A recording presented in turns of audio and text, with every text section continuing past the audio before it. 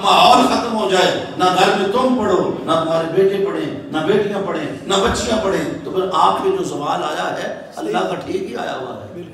یہ جو بیماریاں ہیں پریشانیاں ہیں دکھ ہیں جادو ہیں ٹونے ہیں یہ کیا ہے؟ یہ ہماری بد عمالی ہے۔ ہم نے قرآن سے تعلق توڑ دیا۔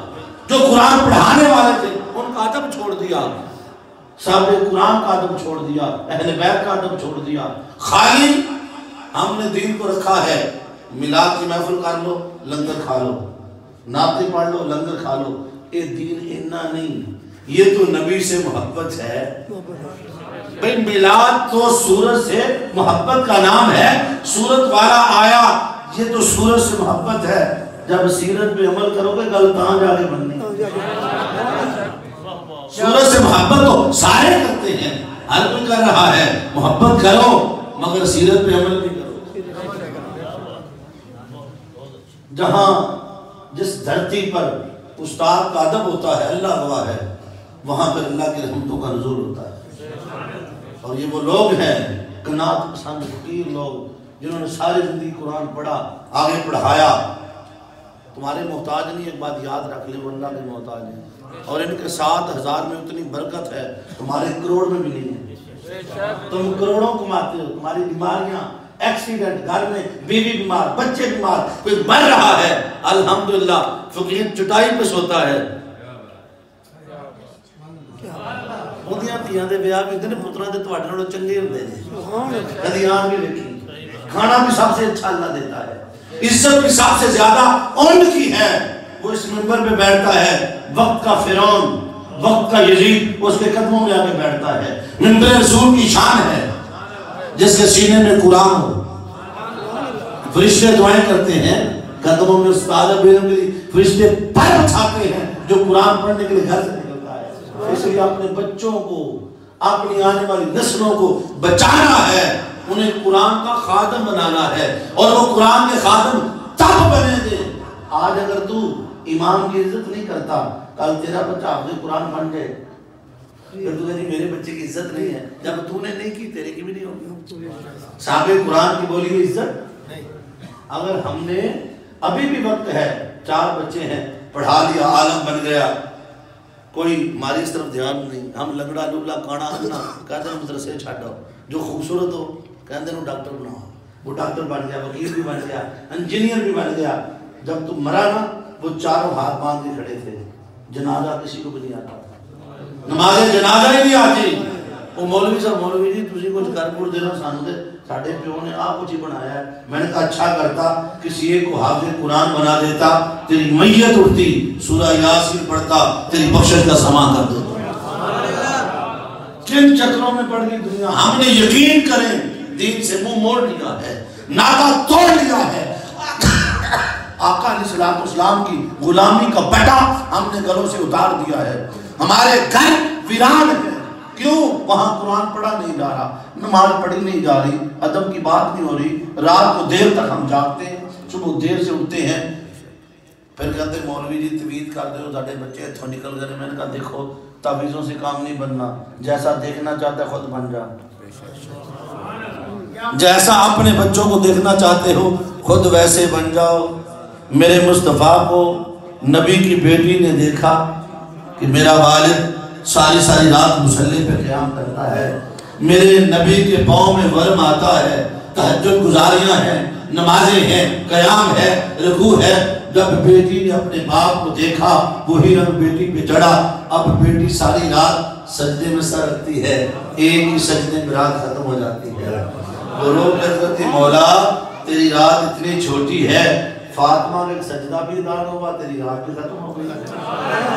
جو باپ کا رنگ بیٹی پہ چڑھا، وہی رنگ بیٹی نے آگے اپنے بیٹوں پہ چڑھا دیا۔ وہ بیٹی نے، دیکھو، جو رنگ گھر سے چڑھتا ہے، مدرسوں میں، سکولوں میں کوئی رنگ نہیں، بھول جاؤ۔ دنیا داریاں ہیں۔ یہ جو سکول ہے نا، یہ تو بزنس کلاس بنی ہوئی ہے۔ تم سے پیسے بٹورنے ہیں۔ اور ایک کاغذ کا ٹکڑا دینا سولہ سالوں کے بعد۔ اور بندے کو انسان سے حیوان بنا دینا ہے۔ وہ تربیت جو گھر میں آپ نے خود کرنی ہے، وہی تربیت ہے۔ میری بات یاد رکھ لیں۔ آپ کو کاپی کرتا آپ کا بچہ، اپنے باپ کو دیکھتا ہے، جو باپ کو تاش کھیلے جھوٹ بولے، سارا دن پھٹوں میں بیٹھا رہے۔ کبھی نماز نہ پڑھی ہو، کبھی قرآن نہ پڑھی ہو، جو باپ خود ڈال رہا ہو، دودھ میں کیمیکل ڈال رہا ہو دو نمبر دوائیاں بیچ رہا ہو۔ وہ کیسے توقع کر سکتا ہے؟ میرا بچہ کل دین کا خدمت کار بنے گا جماعت نہیں بنتا۔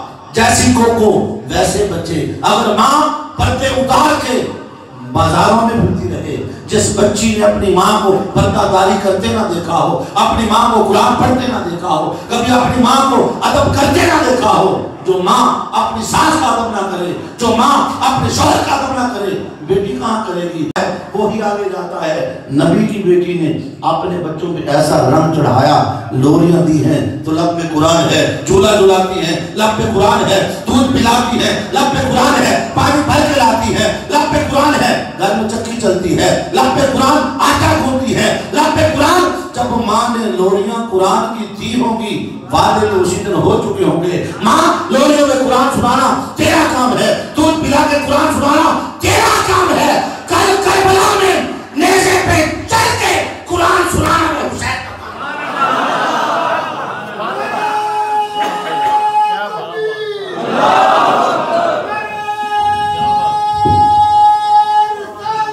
کا رسول اللہ یہ وہ باتیں ہیں جو آپ کو بتائے گا کوئی نہیں۔ مولوی دسے گا تو مسجد کو پڑھ جانا